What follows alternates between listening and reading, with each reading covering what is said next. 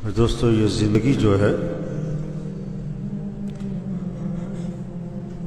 ये ज़िंदगी अमानत है, अमानत।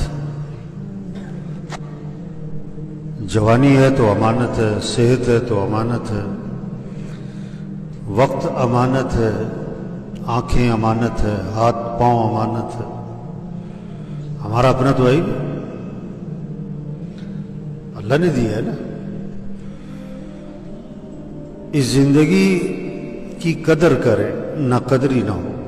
इस ज़िंदगी अमानत में खयानत ना करे। अमानत में खयानत किसी को पसंद नहीं है ना? ये ज़िंदगी अल्लाह ने हमें दी है।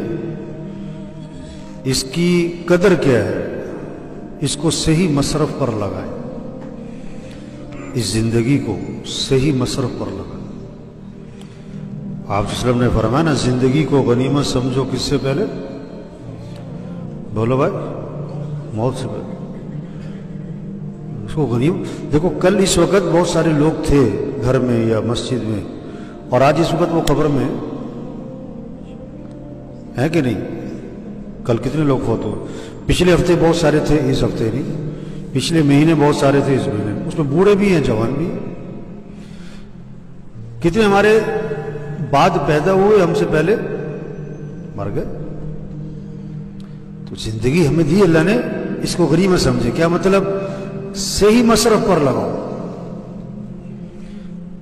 जवानी को गनीमत समझो किससे पहले? बुढ़ापे से पहले। जवानी है, हिम्मत है, ताकत है। इस जवानी की ताकत को सही जगह लगाओ। और सेहत को गनीमत समझो। बीमारी से। कितने लोग कल अस्पताल पहुँच गए? एक हफ़्ता पहले ठीक थे, अभी अस्पताल में दो हफ़्ते पहले ठीक थे, अभी अस्पताल में रात को ठीक थे, इस वक्त अस्पताल में आज रात कितने लोग अस्पताल पहुँचे? सेहत को गनी मत समझो भाई। फरागत को गनी मत समझो। कितने लोग हैं जिनके पास वक्त फारिग है? हाँ? मशगूलियत से पहले। खुशहाली को गनी मत समझो। बदहाली से पहले। कितने लोग जो करोड़ों में थे, पौड़ियों में आ गए। मोहल्लात में थे छोटे से मकानों में आ गए। जिनके मुलाजिम थे, खुद मुलाजमत पर आ गए। और ऐसे भी केस हैं कि अपने मुलाजिम का मुलाजिम बना। तो ज़िंदगी अमानत है। लोग ज़िंदगी ऐसे गुजार रहे हैं जैसे हमारी है। जो मर्ज़ी करी जाओ।